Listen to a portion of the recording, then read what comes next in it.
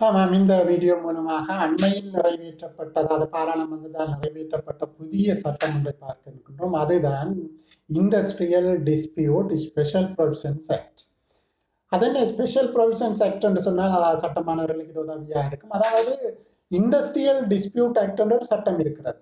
அந்த சட்டத்திற்குள் இதனை கொண்டு வர முடியாது. ஆனால் இதுவும் இண்டஸ்ட்ரியல் டிஸ்பியூட் சம்பந்தமான ஒரு விடயம் தான் என்று வருகிற போது அங்கே ஸ்பெஷல் ப்ரொவிஷன்ஸ் என்ற ஒரு விடயம் சேர்க்கப்படும். அந்த அதற்காக தான் நீங்கள் பார்த்தீங்கன்னா எவிடன்ஸ் ஸ்பெஷல் ப்ரொவிஷன்ஸ் ஆக்டும் இருக்கிறது. ஏன்னு சொன்னால் எவிடென்ஸில் எவிடென்ஸ் ஆர்டினன்ஸில் சொல்லப்படுகின்ற விடயத்துக்கு நாங்கள் அதனை கொண்டு வர முடியாது. ஆனபடியால் தான் எவிடன்ஸ் ஸ்பெஷல் ப்ரொவிஷன் சிறப்பு ஏற்பாடுகள் அல்லது விசேட ஏற்பாடுகள் சட்டம் என்று உருவாக்கப்படுவது உண்டு அதை இந்த இடத்திலும் நாங்கள் இப்போ industrial dispute special provisions act என்று தான் கொண்டு வரப்பட்டிருக்கு இதோட முக்கியமான நோக்கம் என்னன்னு சொன்னால் இது ஏற்கனவே ஒரு ஜிஎஸ்சி அதாவது ஜுடிஷியல் சர்வீஸ் கமிஷன் சர்க்குலர் மூலமாக அமல்படுத்தப்பட்டது. அதன் பின்னர் ஜேடி ஜேஎஸ்சி அதாவது ஜுடிஷியல் சர்வீஸ் கமிஷன் அந்த சர்க்குலரை விட்ரோ பண்ணியதன் விளைவாக சட்டம் அரசாங்கம் கொண்டு வரதுக்கு முயற்சித்து அதன் விளைவாக சட்டம் கொண்டு வந்திருக்கு. ஆனால் ஒன்று விடயத்தை ஞாபகத்துக் கொள்ள வேண்டும். இந்த சட்டம் நிறைவேற்றப்பட்டு விட்டது ஆனால் இன்னும் ஆப்ரேஷனுக்கு வரவில்லை. அதாவது நடைமுறைப்படுத்தப்படவில்லை. ஏன்னு சொன்னால் டேட் ஆஃப் ஆப்ரேஷனை மினிஸ்டர் தான் தீர்மானிக்க வேண்டும் என்று சொல்லப்பட்டிருக்கின்றது முதலாவது பிரிவில். ஆனபடினால் இது நடைமுறைக்கு வரவில்லை. ஆனாலும் சட்டம் நிறைவேற்றப்பட்டு பாராளுமன்றத்தினால் நிறைவேற்றப்பட்டு விட்டது. இங்கே ஒரு விடயம் இருக்கிறது என்று சொன்னால் இந்த இந்த இஷ்யூ என்னென்று சொன்னால் தற்போது நீங்கள் பார்த்தீங்கன்னு சொன்னால் ஆர்பிட்ரேஷனாக இருக்கலாம் முடியும் அல்லது ஆர்பிட்ரேட்டர்ஸ் உடைய விடயமாக இருக்கலாம். அல்லாவிட்டால் இண்டஸ்ட்ரியல் கோர்ட் இருக்கிற கைத்தொழில் நீதிமன்றம் இருக்கிறது. இந்த நடு தீர்ப்பாளர்கள் அல்லது கைத்தொழில் நீதிமன்றத்தினுடைய தீர்த்தளிப்பு எவார்ட்ஸ் இருக்கின்றது. அல்லது லேபர் ட்ரைபுனல் கொடுக்கப்பட்ட ஓர்டர்ஸ் இருக்கின்றது. அல்லது கமிஷனர்கள் வழங்கி அதன் மூலமாக கமிஷன் கொடுத்த முடிவு இருக்கலாம். அல்லது கமிஷனர் சர்டிபிகேட்டை இஷ்யூ பண்ணி அதை கொடுப்பனவன்றை அறவிடுறா இபிஎஃப்ஓ இடிஎஃப்ஓ போன்ற விடயங்களை அறவிடுவதாக இருக்க முடியும். இவ்வாறான விடயங்கள் சம்பந்தமாக அதாவது அது ஆர்பிட்ரேட்டரால் கொடுக்கப்பட்ட ஒரு எவார்ட்ஸாக இருக்க முடியும். அல்லாவிட்டால் இண்டஸ்ட்ரியல் கோர்ட்டால் கொடுக்கப்பட்ட ஒரு விடயமாக இருக்க முடியும் அல்லது லேபர் ட்ரைபுனல் ஓர்டராக இருக்க முடியும் அல்லது கமிஷனருடைய முடிவாக இருக்க முடியும் ஒரு விளக்கத்தின் பின்னரான முடிவாக இருக்க முடியும். அல்லாவிட்டால் கமிஷனரால் இஷ்யூ பண்ணப்பட்ட ஒரு சர்டிபிகேட்டை அடிப்படையாக கொண்டு பணம் ஒன்றை அல்லது கொடுப்பனம் ஒன்றை அறவிடுவதாக இருக்கக்கூடிய இவ்வாறான விடயங்கள் சம்பந்தமாக வருகிற போது இப்போது இருக்கிற விடயம் நாங்கள் மஜிஸ்ட்ரேட் கூட அதாவது இங்கே ஒரு தீர்மானம் எடுக்கப்பட்டு விட்டு இந்த தீர்மானத்தை வலுவுக்கு இம்ப்ளிமெண்ட் பண்ணுவதற்காக மஜிஸ்ட்ரேட் விட்டு தான் செல்ல வேண்டும். இதுதான் தற்போது. இந்த விடயம் சம்பந்தமாக நாற்பத்தி எட்டு சட்டங்கள் இந்த விடயங்களை சொல்லுவேன் லேபர் லோஸ் வந்து பார்க்கும்போது நாற்பத்தெட்டு சட்டங்கள் சொல்லப்பட்டு இந்த நாற்பத்தெட்டு சட்டங்கள் உண்மையில் சொல்ல போனால் நாற்பத்தி ஒன்பது பில்லில் இருக்கிறது. சட்டம் பெறுகிற போது ஒன்று உயர் நீதிமன்றம் அதனை ஆட்சேபித்ததன் காரணமாக அது நீக்கப்பட்டிருக்கின்றது. அதன் விளைவாக தற்போது நாற்பத்தெட்டு சட்டங்களில் இவ்வாறான விடயங்கள் கூறப்பட்டிருந்தால் அந்த விடயங்கள் இதுவரையும் லேபர் ட்ரைபுனலுக்கு சாரி மஜிஸ்ட்ரேட் கோர்ட்டுக்கு சென்றது. எனிமேல் ட்ரைபன் லேபர் ட்ரைபுனலுக்கு தான் செல்ல போகிறது. உண்மையில் நாங்கள் கொஞ்சம் விளக்கமாக பார்ப்போமாக இருந்தால் இந்த லேபர் ட்ரைபுனல் கொடுத்ததை மஜிஸ்ட்ரேட் கோர்ட்டு கொண்டு போது மஜிஸ்ட்ரேட் கோர்ட் தன்னுடைய கிரிமினல் ஜூரிஸ்டிக்ஷனுக்கு மேலதிகமாக இந்த விடயத்தையும் பார்க்க வேண்டி இருக்கிறது ஆகவே கொஞ்சம் சற்று தாமதங்கள் ஏற்படுகின்ற விளைவாக இந்த தாமதங்களை குறைத்து கொள்ள வேண்டும் என்பதற்காக நாங்கள் இந்த விடயம் அறிமுகப்படுத்த சொல்லப்படுகின்றது. ஆகவே இந்த நோக்கத்தில் பார்க்கிற போது இந்த பில்லை நாங்கள் பார்ப்போமாக இருந்தால் லேபர் ட்ரைபுனல் பிரசிடென்ட் எல்லோரும் அடிஷனல் மேஜிஸ்ட்ரேட்டாக கருதப்பட வேண்டும். டீம்டு என்று சொல்லப்பட்டிருக்கு. கருதப்பட வேண்டும் என்று சொல்லப்பட்டது ஆகவே அவர்கள் இதனையும் கேட்டு விளங்கக்கூடியதாக செய்யப்பட்டிருக்கு. அதை விட இன்னொரு விடயம் அங்கே சொல்லப்படுகின்றது. இந்த லேபர் ட்ரைபுனலுடைய யூரிஸ்ட்ரிக்ஷனை பொறுத்தளவில் அது மஜிஸ்ட்ரேட் கோர்ட்டினுடைய யூரிஸ்ட்ரிக்ஷனாக இருக்கும் என்று சொல்லப்பட்டிருக்கின்றது. அதேவேளை இங்கே ஒரு விடயம் கொங்கரன் யூரிஸ்ட்ரிக்ஷன் தான் கொடுப்பது அதாவது கேபினெட்டும் அதைத்தான் விளம்பி இந்த கொங்கரன் யூரிஸ்ட்ரிக்ஷன் அதாவது மஜிஸ்ட்ரேட் கோர்ட் தான் தற்போது செய்வதை தொடர்ந்து செய்ய முடியும். லேபர் ட்ரைபுனலுக்கு இந்த மேலதிகமாக இந்த அவை இரண்டு பேரும் செய்யக்கூடியதான் இது உண்மையில் இந்த இதில் செய்யப்பட்டிருக்கிறது பில்லில் செய்யப்பட்டிருக்கிறது. ஆனால் சட்டத்தில் மாற்றப்பட்டு விட்டது. அடுத்ததாக இந்த லேபர் ட்ரைபுனலுடைய விடய நியாயாதிக்கங்கள் எங்கெங்கன்னு சொல்லப்பட்டிருக்கின்றது ஆனால் இந்த உயர்நீதிமன்ற நேரை பார்த்தபோது உயர்நீதிமன்றத்தினுடைய விடயம் என்னன்னு சொன்னால் இந்த லேபர் ட்ரைபுனல் பிரசிடென்ட்டுக்கு அதிகாரம் வழங்குவது ஒரு பக்கம் இருக்க. லேபர் நாங்கள் என்ன செய்கிறோம் என்று சொன்னால் லேபர் ட்ரைபுனல் பிரசிடென்ட்டை தான்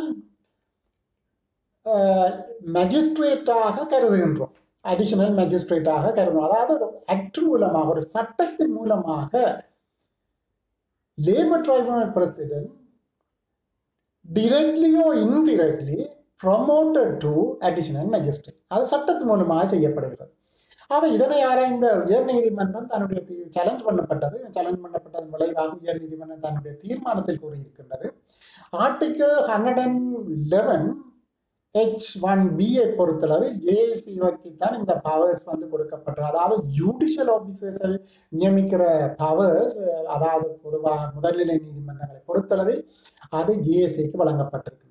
ஆனால் யூடிகேச் ஆக்டை நாங்கள் பார்ப்போமாக இருந்தால் யூடிகேச் ஆக்டில் சிக்ஸ் ஒன் செக்ஷன் சிக்ஸ் ஒன்னை பார்ப்போமாக இருந்தால் இந்த ஜேஏசியை பொறுத்தளவில் அது அடிஷனல் மேஜிஸ்ட்ரேட்டை அப்பாயின்ட் பண்ண முடியும் என்று சொல்லப்பட்டிருக்கும் அதே போல் hundred and five article hundred and five paragraph two of the constitution நீங்கள் பார்த்தீங்கன்னா நீதிமன்ற நியாயாதிக்கங்களை மாற்றலாம் திருத்தலாம் அபோலிஷ் பண்ணலாம் இது எல்லா அதிகாரமும் பாராளுமன்றத்தை வழங்கும். அவை இவை ஜூடிகேச்சரும் இருக்கின்றது கன்ஸ்டிடியூஷன் ரெண்டையும் சேர்த்து பார்க்கிற போது அதிகாரம் வழங்குகிற அந்த விடயத்தை பார்க்க இந்த அதாவது முதல்நிலை நீதிமன்ற நீதிபதிகளை நியமிக்கின்ற முழுமையான அதிகாரம் ஜிஎஸ்சிக்கு விடப்பட்டிருக்கிறது. இதில் தலையிடுவது கூட அந்த நீதிமன்ற சுவாதி சுவாதீனத்தன்மையை பாதிப்பதாக அந்த நீதிமன்றம் தீர்மானத்தில் குறிப்பிட்டிருக்கின்றது. ஆகவேதான் இறுதியான தீர்மானம் உயர் நீதிமன்றத்தின் தீர்மானம் சொல்லப்படுவது இவ்வாறு செய்கிற போது அதாவது இந்த ஜூடிஷியல் ஆஃபீஸர்ஸை நியமிப்பதற்கு அதாவது சட்டத்தின் மூலமாக நியமிப்பதற்கு பாராளுமன்றத்துக்கு அதிகாரம் இல்லை என்பதை தெளிவாக கூறியிருக்கின்றது ஆனபடினா இந்த சட்டம் கமிட்டி ஸ்டேஜ் அமெண்ட்மெண்ட் வருகிற போது பாரிய மாற்றம் ஒன்றை கண்டது. அதாவது நாங்கள் ஏற்கனவே லேபர் ட்ரைபூனல் பிரசிடென்ட் என்று சொன்னபடியெல்லாம் லேபர் ட்ரைபூனலாக மாற்றப்பட்டு லேபர் ட்ரைபூனல் தான் அந்த அதிகாரம் வழங்கப்படுவதாக சொல்லப்பட்டது தவிர லேபர் ட்ரைபுனல் பிரசிடென்ட்டுக்கு அல்ல என்று மாற்றப்பட்ட சட்டத்தின் அந்த மாற்றத்துக்கு ஏற்பாடு மாற்றப்பட்டது. அதற்காக நாங்கள் லேபர் ட்ரைபுனல் வந்து இனி எம்சிக்குரிய பவர்ஸை பிரிவிக்க முடியும் என்பது அதாவது எம்சி இந்த அதாவது மெஜிஸ்ட்ரேட் கோர்ட் இவ்வளவு காலமும் இந்த நாற்பத்தெட்டு சட்டங்களுக்குள் பிரியோகித்த விடயத்தை இனி லேபர் ட்ரைபுனல் பிரியோகிக்க முடியும் என்று அது மாற்றப்பட்டது. போல அந்த லேபர் ட்ரைபுனல் பிரசிடென்ட் வந்து அடிஷனல் மேஜிஸ்ட்ரேட் என்ற விடயம் நீக்கப்பட்டது.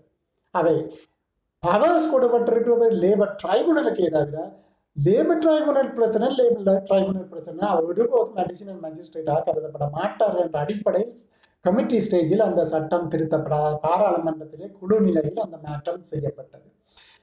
அதன் விளைவாக தற்போது இந்த சட்டம் நடைமுறைக்கிடப்படுமாக இருந்தால் அதாவது அமைச்சர் கட்டளை மூலத்தை கட்டளை மூலமாக கெசட் படி கெசட்டில் அதை குறிப்பிடுவாரான தேதி இது வரவுக்கு வரும்.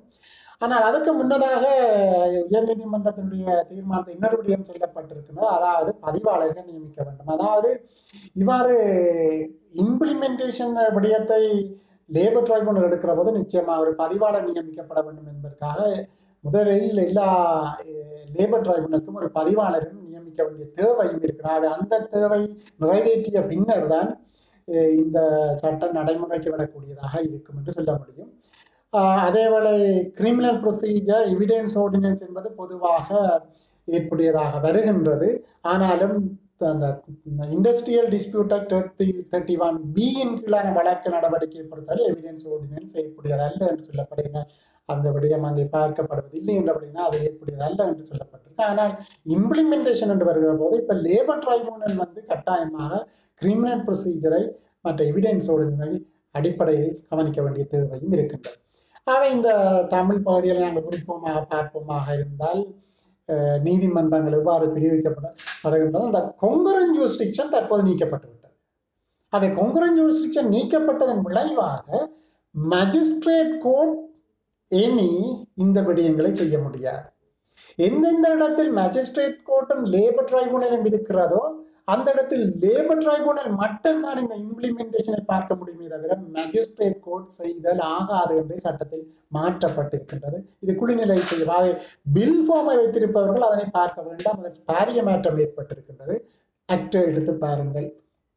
அவை குறிப்பாக சொல்வதாக இருந்தால் இந்த magistrate court Yazhpanam magistrate court particularly Colombo Avissawella Gampaha Wattala Neerkozhumbu Kandy Matale Nawalapitiya Talawakelle Kandy Nuwara Eliya Badulla Ampara Chilabam Thiruvonamalai போன்ற இடங்களில் இருக்கின்ற இந்த மஜிஸ்ட்ரேட் கோர்ட் இந்த சட்டம் நடைமுறைக்கு வந்த பின்னர் தற்போது அல்ல நடைமுறைக்கு எப்போது மினிஸ்டர் எடுகின்றாரோ அந்த நேரத்தில் இருந்து மஜிஸ்ட்ரேட் கோர்ட் இந்த நாற்பத்தெட்டு சட்டங்களின் கீழான ஏதாவது இந்த விடயங்களை அதாவது ஆர்பிட்ரேட்டருடைய விடயமா தீர்த்தளிப்பாக இருக்க முடியும். அல்லாவிட்டால் இண்டஸ்ட்ரியல் கோர்ட்டினுடைய தீர்த்தளிப்பாக இருக்க முடியும். லேபர் ட்ரைபுனுடைய ஓர்டராக இருக்க முடியும். அல்லது கமிஷனர் லேபர் கமிஷனாக கொடுக்கப்பட்ட முடிவாக இருக்க முடியும். அல்லாவிட்டால் கமிஷனர் சர்டிபிகேட்டின் கீழே ஏதாவது கொடுப்பனை அறவடைய இந்த விடயங்கள் தொடர்பில் நாற்பத்தெட்டு சட்டங்களில் சொல்லப்பட்ட விடயங்கள் மஜிஸ்ட்ரேட் கோர்ட்டுக்கு செல்ல முடியும். நான் ஏற்கனவே சொன்ன இந்த இடங்களில் உள்ள மஜிஸ்ட்ரேட் கோர்ட்டு உண்மை முப்பத்தி ஏழு இடங்கள் சொல்லப்பட்டிருக்கிறது. நான் குறிப்பாக அந்த இடங்களை மட்டும் இங்கே சொல்லி இருக்கின்றேன் ஏன்னு சொன்னால் தமிழ் மொழியில் இந்த வீடியோ செல்வதனால் நான் தமிழ் இடங்களை மட்டும் சொல்லியிருக்கின்றேன். தமிழ் பேசும் மக்கள் இருக்கிற இடங்களை மட்டும் சொல்லியிருக்கேன். ஏனைய இடங்களை பொறுத்தளவு மொத்தமாக முப்பத்தேழு இடங்கள் நீங்கள் அந்த ஷெடியூலை பார்த்துக்கொள்ள முடியும். இந்த முப்பத்தேழு இடங்கள் உள்ள மேஜிஸ்ட்ரேட் கோர்ட் இந்த சட்டம் நடைமுறைக்கு வந்த பின்னர் இந்த நாற்பத்தெட்டு சட்டங்களிலான ஏற்கனவே நான் குறிப்பிட்ட அந்த விடயங்களை செய்ய மாட்டாது. ஆகவே எல்லோருமே லேபர் ட்ரைபுனலுக்கு தான் இதனை நடைமுறைப்படுத்துவதாக செல்ல வேண்டியிருக்கும். நன்றி.